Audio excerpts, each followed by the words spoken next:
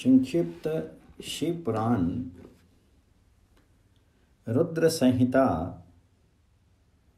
बानासुर की तपस्या और उसे शिव द्वारा वर प्राप्ति, शिव का गण और पुत्र सहित उनके नगर में निवास करना बान पुत्री उषा का रात के समय स्वप्न में अनिरुद्ध के साथ मिलन, चित्रलेखा द्वारा अनिरुद्ध का द्वारका से अपहरण बाण का अनिरुद्ध को नागपाश में बांधना, दुर्गा के स्तवन से अनिरुद्ध का बंधन मुक्त होना।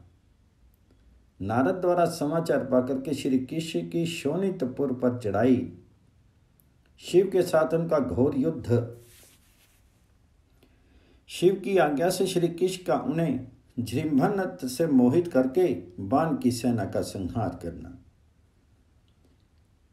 व्यास जी बोले, सर्वज्ञ सनत कुमार जी, आपने अनुग्रह करके प्रेम पूर्वक ऐसी अद्भुत और सुंदर कथा सुनाई है, जो शंकर की कृपा से ओतप्रोत है। अब मुझे शशि मौली के उस उत्तम चरित्र के श्रवण करने की इच्छा है, जिसमें उन्होंने प्रसन्न होकर के बानासुर को गण अध्यक्ष पद प्रदान किया था। सनत कुमार जी ने कहा, व्यास जी परमात्मा शंभु की उस कथा को, जिसमें उन्होंने प्रसन्न होकर के बानासुर को गण नायक बनाया था। आदरपूर्वक श्रवण करो। इसी प्रसंग में महाप्रभु शंकर जी का वह सुंदर चरित्र भी आएगा, जिसमें उन्होंने बानासुर पर अनुग्रह करके श्री कृष्ण के साथ संग्राम किया था। व्यास जी, दक्ष प्रजापता की तेरह कन्याएँ कश्यप मुनि की पत्नियाँ थी। वे सब की सब पतिव्रता और सुशीला थी। उनमें दीति सबसे बड़ी थी, जिसके लड़के दैत्य कहलाते हैं। अन्य पत्नियों से भी देवता तथा चराचर सहित समस्त प्राणी पुत्र रूप से उत्पन्न हुए थे। ज्येष्ठ पत्नी दीति के गर्भ से सर्वप्रथम दो महाबली पुत्र पैदा हुए। उनमें हिरणाकश्यप ज्येष्ठ था और उसके छोटे भाई का नाम हिरण्याक्ष था। हिरणाकश्यप के चार पुत्र हुए। उन दैत्य श्रेष्ठों का क्रमशः हरलाद अनवरलाद सरलाद और प्रहलाद नाम था। उन्हें प्रहलाद जितेंद्रिय तथा महान विष्णु भक्त हुआ। उसका नाश करने के लिए कोई भी दैत्य समर्थ नहीं हो सका। प्रहलाद का पुत्र विरोचन हुआ। वह दानियों में सर्वश्रेष्ठ था।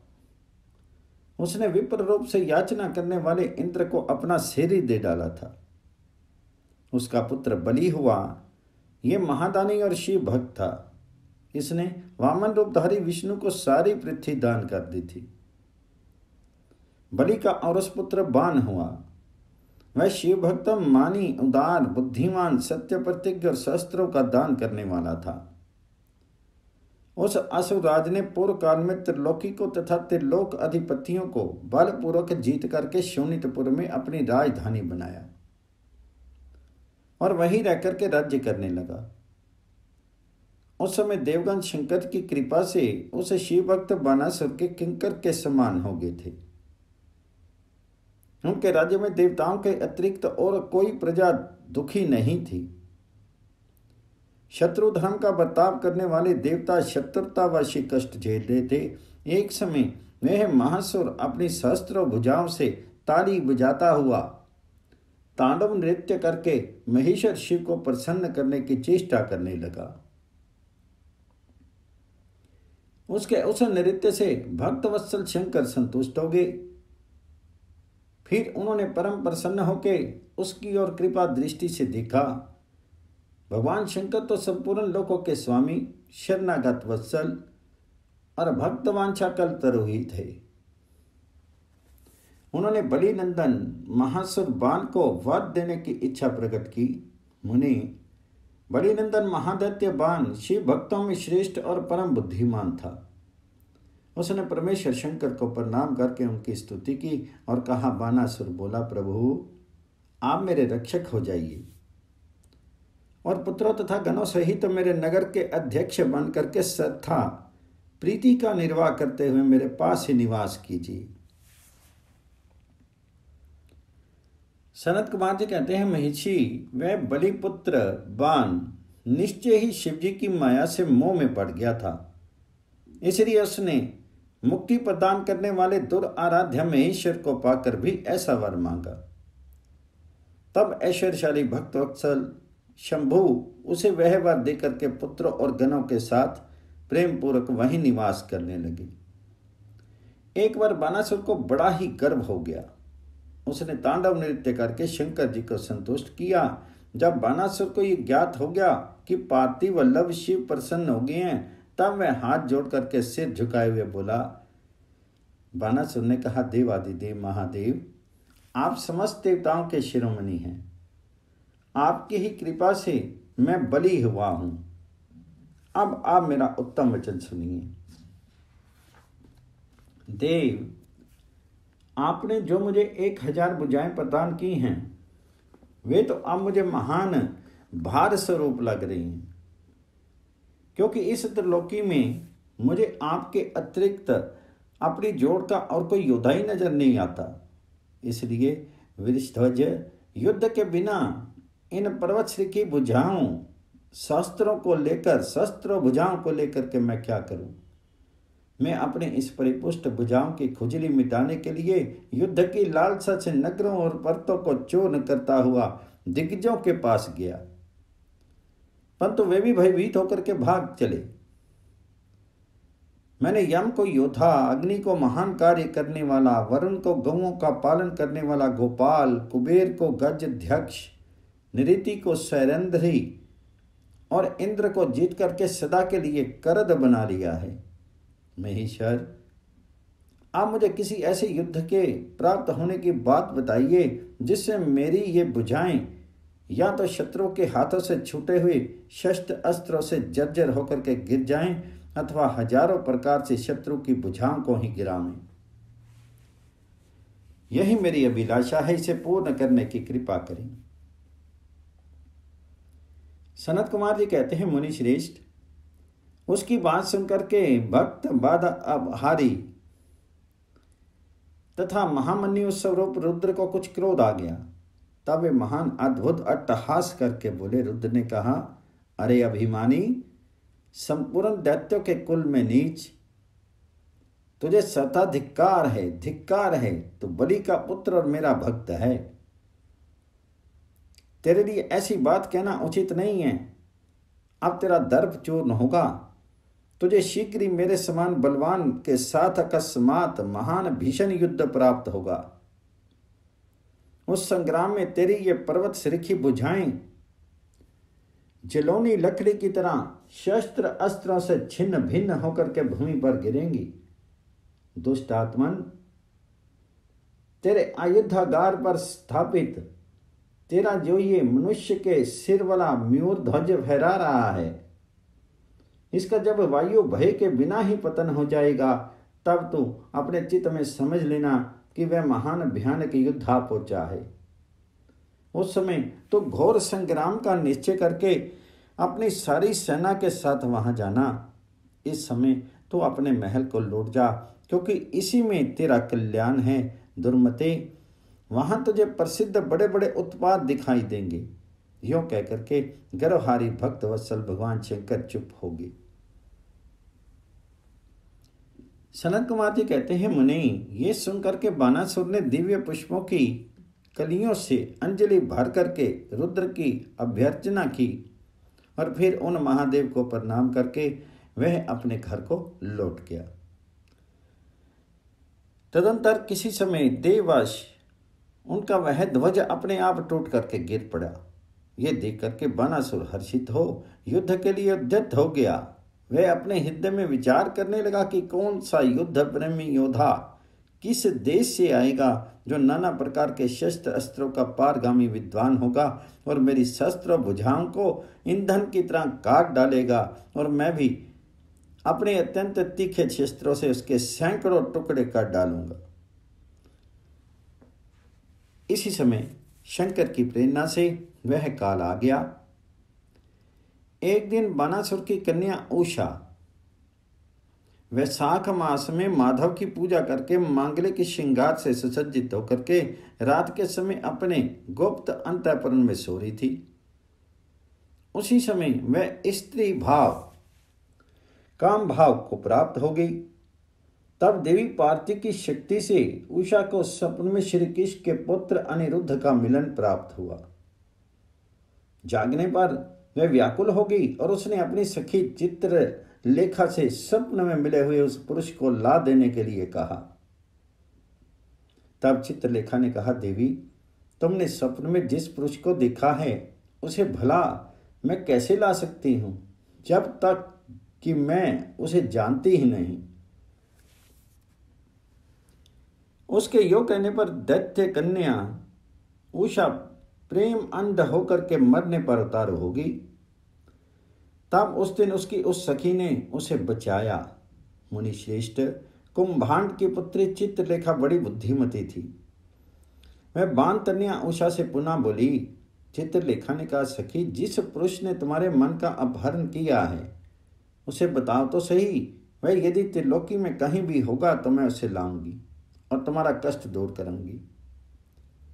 सनत कुमार जी कहते हैं महिषी यो कहकर के चित्रलेखा ने वस्त्र के पर्दे पर देवताओं, दैत्यों, दानवों, गंधर्वों, सिद्धों, नागों और यक्ष आदि के चित्र अंकित किए। फिर वह मनुष्यों के चित्र बनाने लगी। उनमें वृष्णि वंशियों का प्रकरण आरंभ होने पर उसने शोर, वसुदेव, राम, कृष्ण और नरश्रेष्ठ प्रदुम्न का चित्र बनाया। फिर जब उसने प्रदुम्न नंदन अनिरुद्ध का चित्र खींचा तब उसे देख करके उषा लज्जित होगी उसका मुख अनवत हो गया और हृदय हर्ष से परिपूर्ण हो गया। उषा ने कहा, सखी, रात में जो मेरे पास आया था और जिसने शीघ्र ही मेरे चित्रूपी रत्न को चुरा लिया है, वह चोर पुरुष यही है। तदंतर उषा के अनुरोध करने पर चित्रलेखा ज्येष्ठ कृष्ण की चतुर्दशी को तीसरे पैर द्वारकापुरी पहुँच करके शन मात्र में ही पलंग पर बैठे हुए अनिरुद्ध को महल में से उठा लाई। वह दिव्य योगनी थी। उषा अपने प्रीतम को पाकर के प्रसन्न होगी। इधर अंतपुर की द्वार की रक्षा करने वाले वैतधारी पहरेदारों ने चेष्टाओं से तथा अनुमान से इस बात को लक्ष्य कर लिया। उन्होंने एक दिव्य शीधारी दर्शनीय सासी और समर प्रिय नवयुवक को कन्या के साथ दुशीलता का आचरण करते हुए देख भी लिया। उसे देख करके कन्या के अंतपुर की रक्षा करने वाले उस महाबली पुरुषों ने बलिपुत्र बाणासुर के पास जाकर के सारी बातें निवेदन करते कहा द्वारपाल बोले देव, पता नहीं आपके अंतपुर में बलपूर्वक प्रवेश करके कौन पुरुष छिपा हुआ है? वह इंद्र तो नहीं है, जो वेश बदल करके आपकी कन्या का उपभोग कर रहा है। महाबाहु, दानवराज, उसे यहाँ देखिए देखिए और जैसा उचित समझिए, वैसा कीजिए, इसमें हम लोगों का कोई दोष नहीं। सनत कुमार जी कहते हैं मुनि श्रेष्ठ द्वारपालों का वह वचन तथा कन्या के दूषित होने का कथन सुन करके महाबली दानवराज बान आश्चर्यचकित हो गया। तदंतर वह कुपित होकर के अंतपुर में जा पहुँचा। वहाँ उसने प्रथम अवस्था में वर्तमान दिव्य श्रीधारी अनिरुद्ध को देखा। उसे महान आश्चर्य हुआ। फिर उसने उसका बल देखने के लिए दस हज़ार सैनिकों को भेजकर आज्ञा दी कि इसे मार डालो। सेना ने अनिरुद्ध पर आक्रमण किया, तब अनिरुद्ध ने बात की बात में दस हज़ार सैनिकों को काल के हवाले कर दिया। फिर तो संख्य सेना पर सेना आने लगी और अनिरुद्ध उन्हें काल का ग्रास बनाने लगे। तदंतर उन्होंने बानासुर का वध करने के लिए एक शक्ति हाथ में ली, जो कालाग्नि के समान भयंकर थी। फिर उसी से रथ की बैठक में बैठे हुए बाना सिर पर प्रहार किया। उसकी गहरी चोट खा करके वीरवर बान उसी क्षण घोड़ों सहित वहीं अंतर ध्यान हो गया। फिर महावीर बलिपुत्र बाणासुर ने जो महान बल संपन्न तथा शिव भक्त था छल पूर्वक नागपास से अनिरुद्ध को बाँध लिया। इस प्रकार उन्हें बाँध करके और पिंजरे में कैद करके वे युद्ध से उपराम हो गया। तत्पश्चात बाण कुपित होकर के महाबली सूत पुत्र से बोला बानासुर ने कहा सोत पुत्र घास फूस से ढके हुए अगाध कुएँ में ढकेल करके इस पापी को मार डाल। अधिक क्या कहूँ, इसे सर्था मार ही डालना चाहिए। सनत कुमार जी कहते हैं, मुनि, उनकी ये बात सुनकर के उत्तम मंत्रियों में श्रेष्ठ धर्म बुद्धि निशाचर कुंभांड ने बानासुर से कहा, कुंभांड बोला, देव, थोड़ा विचार तो कीजिए। मेरी समझ से तो यह कर्म करना उचित नहीं प्रतीत होता, क्योंकि इसके मारे जाने पर अपना आत्मा ही आहत हो जाएगा। प्राकर्म में तो यह विष्णु के समान दिख रहा है। जान पड़ता है, आप पर कुपित होकर के चंद्रचूड़ ने अपने उत्तम तेज से इसे बढ़ा दिया है। साहस में ये शशि मौली के समानता कर रहा है, क्योंकि इस अवस्था को पहुँच जाने पर भी ये पुरुषार्थ पर ही डटा हुआ है। ये ऐसा बलि है कि यद्यपि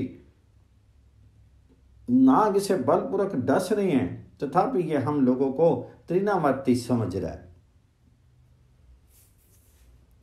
सनत कुमार जी कहते हैं, व्यास जी दानक कुंभांड राजनीति के ज्ञाताओं में शीश था।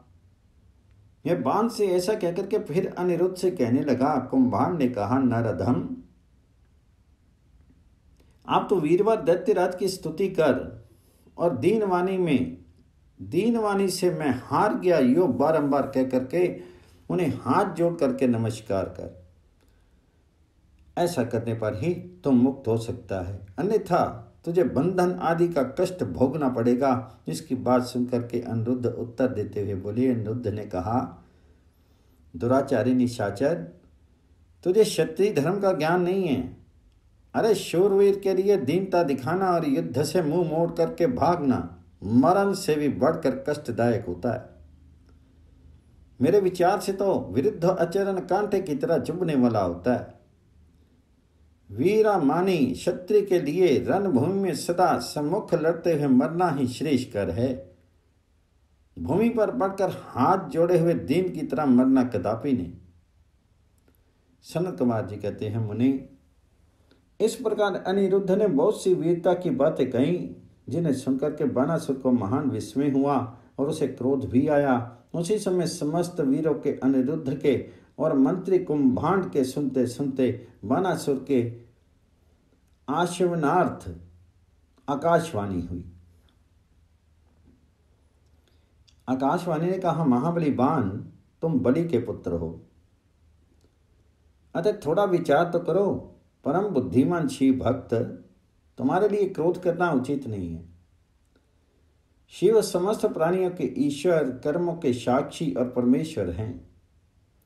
ये सराचर चराचर जगत उन्हीं के अधीन है। वे ही सदा रजोगुण, सत्वगुण और तमोगुण का आश्रय लेकर के ब्रह्मा, विष्णु और रुद्र रूप से लोगों की सृष्टि, भरण, पोषण और संहार करते हैं। वे सर्व अंतर्यामी, सर्वेश्वर, सबके प्रेरक, सर्वश्रेष्ठ, विकार रहित, अविनाशी, नित्य और मायाधीश होने पर भी निर्गुण हैं। बलि के श्रेष्ठ पुत्र उनकी इच्छा से निर्बल को भी बलवान समझना चाहिए। महामते मन में यो विचार करके स्वस्थ हो जाओ। नाना प्रकार की लीलाओं के रचने में निपुण भक्त वत्सल भगवान शंकर गर्व को मिटा देने वाले हैं। वे इस समय तुम्हारे गर्व को चूर कर देंगे। सनत कुमार जी कहते हैं, माँ उन्हें इतना कहकर के आकाशवाणी बंद हो गई। तब उनके वचन को मान करके बानासुर ने अनिरुद्ध का वध करने का विचार छोड़ दिया। तंत्र विशैले नागों के पास से बधे हुए अनिरुद्ध उसी क्षण दुर्गा का स्मरण करने लगे। अनिरुद्ध ने कहा शरणागत वत्सले आप यश प्रदान करने वाली हैं। आपका रोष बड़ा उग्र होता है, देवी। मैं नागपात से बंधा हुआ हूँ और नागों की विष ज्वाला से संतप्त हो रहा हूँ। अतः शीघ्र पधारिए और मेरी रक्षा कीजिए। सनत कुमार जी कहते हैं, मुनीश्वर, जब अनिरुद्ध ने पिसे हुए काले कोयले के समान कृष्ण वरण वाली काली को इस प्रकार संतुष्ट किया, तब ज्येष्ठ कृष्ण चतुर्दशी की महारात्रि में वहाँ प्रकट हुई। उन्होंने उन सर्परूपी भयानक बाणों को भस्म सात करके अपने बलिष्ठ मुखों के आघात से उस नाग पंजर को विदीर्ण कर दिया। इस प्रकार दुर्गा ने अनिरुद्ध को बंधन मुक्त करके उन्हें पुनः अंतापुर में पहुँचा दिया और स्वयं वहीं अंतर ध्यान होगी। इस प्रकार शिव की शक्ति रूपा देवी की कृपा से अनिरुद्ध कष्ट से छूट गए। उनकी सारी व्यथा मिट गई और वे सुखी हो गए। तदंतर पर नंदन अनिरुद्ध शिव शक्ति के प्रताप से विजयी होकर के अपने प्रिया बान तन्या को पाकर के परम हर्षित हुए और अपनी प्रीतमा उस उषा के साथ पूर्वत सुख पूर्वक विहार करने लगी। इधर पौत्र अनिरुद्ध के अदृश्य हो जाने तथा नारद जी के मुख से उनके बानासुर के द्वारा नागपात से बांधे जाने का समाचार सुनकर के बारह अक्षोनी सेना के साथ प्रदुम्न आदि वीरों को साथ लेकर के भगवान श्री कृष्ण ने शोनितपुर पर चढ़ाई कर दी। उधर भगवान श्री रुद्र भी अपने भक्त के पक्ष में सज धज करके आ डटे। फिर तो श्री कृष्ण और श्री शिव का बड़ा भयानक युद्ध हुआ। दोनों ओर से ज्वर छोड़े गए। अंत में श्री कृष्ण ने स्वयं श्री रुद्र के पास आकर के उनका स्तमन करके कहा, सर्वव्यापी शंकर, आप गुणों से निर्लिप्त होकर भी गुणों से ही गुणों को प्रकाशित करते हैं। गिरिशाई भूमन, आप सप्रकाश हैं, जिनकी बुद्धि आपकी माया से मोहित हो गई है। वे स्त्री, पुत्र ग्रह आदि विषयों में आसक्त होकर के दुख सागर में डूबते उतराते हैं, जो अजितेंद्रिय पुरुष प्रारब्धवश इस मनुष्य जन्म को पाकर भी आपके चरणों में प्रेम नहीं करता, वह शोचनीय तथा आत्मवंचक है। भगवान, आप गर्भारी हैं आपने ही तो इस गर्विले बाण को शाप दिया था। अतः आपकी ही आज्ञा से मैं बानासुर की बुझाओं का छेदन करने के लिए यहाँ आया हूँ। इसलिए महादेव, आप इसी युद्ध से निवृत्त हो जाइए। प्रभु, मुझे बाण की बुझाओं को काटने के लिए आज्ञा प्रदान कीजिए, जिससे आपका शाप व्यर्थ ना हो। महेश्वर ने कहा, तात, आपने ठीक ही कहा है। कि मैंने ही इस दैत्यराज को शाप दिया है और मेरी ही आज्ञा से आप बानासुर की बुझाएँ काटने के लिए यहाँ पधारे हैं। किंतु रमानाथ, हरे, क्या करूँ? मैं तो सदा भक्तों के अधीन रहता हूँ। ऐसी दिशा में वीर, मेरे देखते बाण की बुझाएँ कैसे काटी जा सकती हैं? इसलिए मेरी आज्ञा से आप पहले जृंभन अस्त्र द्वारा मुझे जृंभित कर दीजिए। तत्पश्चात अपना अभिष्ट कार्य संपन्न कीजिए और सुखी हो जाइए। सनत कुमार जी कहते हैं, मुनीश्वर, शंकर जी के ये कहने पर शांगर पानी श्री हरि को महान विस्मय हुआ। वे अपने युद्ध स्थान पर आकर के परम आनंदित हुए। व्यास जी तदंतर नाना प्रकार के अस्त्रों के संचालन में निपुण श्री हरि ने तुरंत ही अपने धनुष पर झृंबन अस्त्र का संधान करके उसे पिनाक शंकर पर छोड़ दिया। इस प्रकार श्री कृष्ण जृंभन अस्त्र द्वारा जृंभित हुए शंकर को मोह में डाल करके खड़ग, गदा और रिष्टि आदि से बाण की सेना का संहार करने लगे। अध्याय इक्यावन से चौवन पूर्ण। श्री कृष्ण द्वारा बाण की भुजाओं का काटा जाना, सिर काटने के लिए उद्यत हुए श्री कृष्ण को शिव का रोकना और उन्हें समझाना, श्री कृष्ण का परिवार समेत द्वारका को लौट जाना, बाण का तांडव नृत्य द्वारा शिव को प्रसन्न करना, शिव द्वारा उसे अन्याय वरदानों के साथ महाकालत्व की प्राप्ति।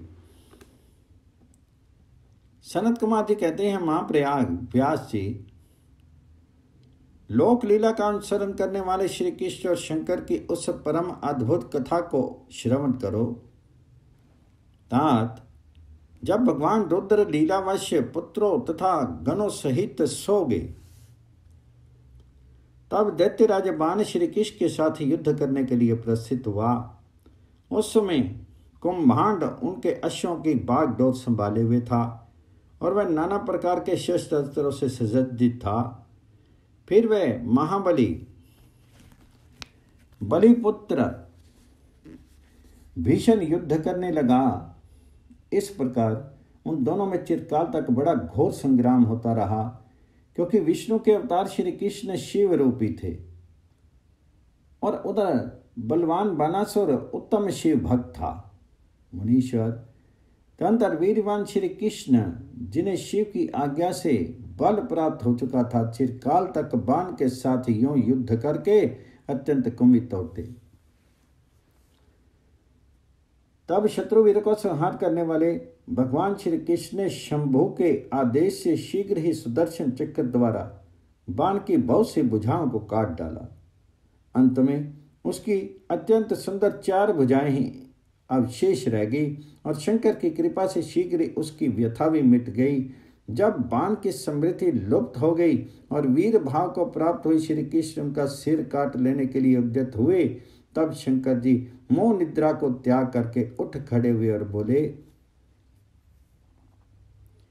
रुद्र ने कहा, देवकी नंदन, आप तो सदा से मेरी आज्ञा का पालन करते आए हैं। भगवान, मैंने पहले आपको जिस काम के लिए आज्ञा दी थी, वह तो आपने पूरा कर दिया। अब बाण का शिरच्छेदन मत कीजिए और सुदर्शन चक्र को लौटा लीजिए। मेरी आज्ञा से यह चक्र सदा मेरे भक्तों पर अमोघ रहा है। गोविंद, मैंने पहले ही आपको युद्ध में अनिवार्य चक्र और जय प्रदान की थी। अब आप इस युद्ध से निवृत्त हो जाइए। लक्ष्मीश पूर्व काल में भी आपने मेरी आज्ञा के बिना दधीच, वीरवार, रावण और तारकाक्ष आदि के पुरों पर चक्र का प्रयोग नहीं किया था। जनार्दन, आप तो युगीश्वर, साक्षात परमात्मा और संपूर्ण प्राणियों के हित में रत रहने वाले हैं। आप स्वयं अपने मन से विचार कीजिए, मैंने इसे वर दे रखा है कि तुझे मृत्यु का भय नहीं होगा। मेरा ये वचन सदा सत्य होना चाहिए। मैं आप पर परम प्रसन्न हूँ। हरे, बहुत दिन पूर्व यह गर्व से भर करके उन्मत्त हो उठा और अपने आप को भूल गया था। तब अपनी बुझाएँ खुजलाता हुआ ये मेरे पास पहुँचा और बोला, मेरे साथ युद्ध कीजिए। तब मैंने इसे शाप देते हुए कहा, थोड़े ही समय में तेरी बुझाओं का छेदन करने वाला आएगा। तब तेरा सारा गर्व गल जाएगा। बाँध को। ऐसे बाँध की ओर देख करके कहा, मेरी ही आज्ञा से तेरी बुझाओं को काटने वाला ये हरि आगे हैं। फिर श्री कृष्ण से अब आप युद्ध बंद कर दीजिए और वर वधु को साथ ले, अपने घर को लौट जाइए। यूँ कह करके महेश्वर ने उन दोनों में मित्रता करा दी और उनकी आज्ञा लेकर के वे पुत्रों और गणों के साथ अपने निवास स्थान को चलेगी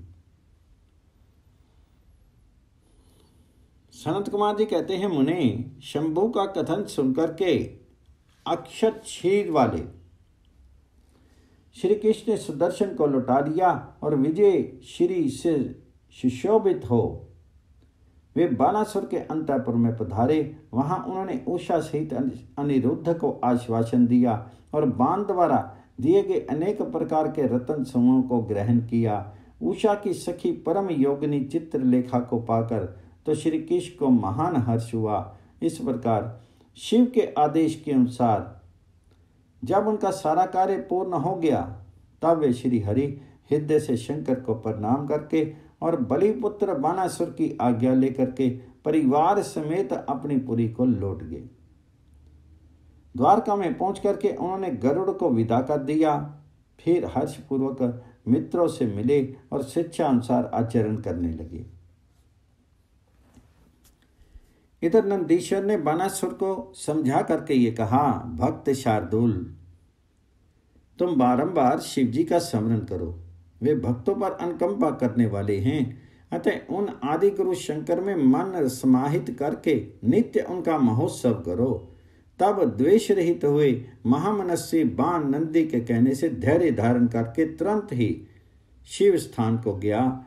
वहाँ पहुँच करके उसने नाना प्रकार के स्तोत्रों द्वारा शिव जी की स्तुति की और उन्हें प्रणाम किया। फिर वह पादों से ठुमके लगाते हुए और हाथों को घुमाते हुए नाना प्रकार के आलीड और पत्यालीड आदि प्रमुख स्थान को द्वारा सुशोभित नृत्यों में प्रधान तांडव नृत्य करने लगा। उस समय में हज़ारों प्रकार से मुख द्वारा बाजा बजा रहा था।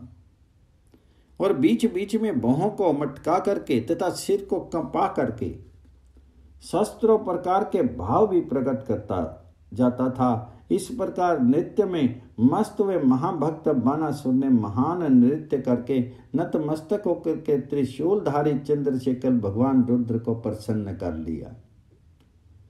तब नाच गान के प्रेमी भक्त वत्सल भगवान हर हर्षित होकर के बाण से बोले, रुद्र ने कहा, बलि पुत्र, प्यारे बाण, तेरे नृत्य से मैं संतुष्ट हो गया हूँ।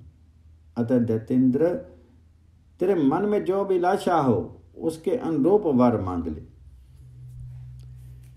सनत कुमार जी भी कहते हैं, मुनि, शंभु की बात सुनकर के दैत्यराज बान ने इस प्रकार वर मांगा। मेरे घाव भर जाएँ। बाहु युद्ध की क्षमता बनी रहे। मुझे अक्षय गण नायक का पद प्राप्त हो। शोनितपुर में उषा पुत्र अर्थात मेरे दोत्र का राज्य हो। देवताओं से तथा विशेष करके विष्णु से मेरा वैर भाव मिट जाए। मुझमें रजगुण और तम गुण से युक्त दूषित दैत्य भाव का पुनः उदय नहीं हो। मुझमें सदा निर्विकार शंभु भक्ति बनी रहे और शिव भक्तों पर मेरा स्नेह और समस्त प्राणियों पर दया भाव रही। यो शंभु से वरदान मांग करके बलि पुत्र महासुर बाण अंजलि बांधे रुद्र की स्तुति करने लगा। उस समय उनके नेत्रों में प्रेम के आँसू छलक आए थे। तदंतर जिसके सारे अंग प्रेम से प्रफुल्लित हो उठे थे, वह बलि नंदन बानासुर महेश्वर को प्रणाम करके मौन हो गया। अपने भक्त बाण की प्रार्थना सुन करके भगवान शंकर, तुझे सब कुछ प्राप्त हो जाएगा, यो कह करके वहीं अंतर ध्यान होगी तब शंभु की कृपा से महाकाल तत्व को प्राप्त हुआ। रुद्र का अंचर बाण परम अनंत में निमग्न हो गया। व्यास जी, इस प्रकार मैंने संपूर्ण भवनों में नृत्य क्रीड़ा करने वाले समस्त गुरुजनों के भी सदगुरु पानी भगवान शंकर का बान विषयक चरित्र, जो परम उत्तम है कर्ण प्रिय मधुर वचनों द्वारा तुमसे वर्णन कर दिया। अध्याय पचपन, छप्पन और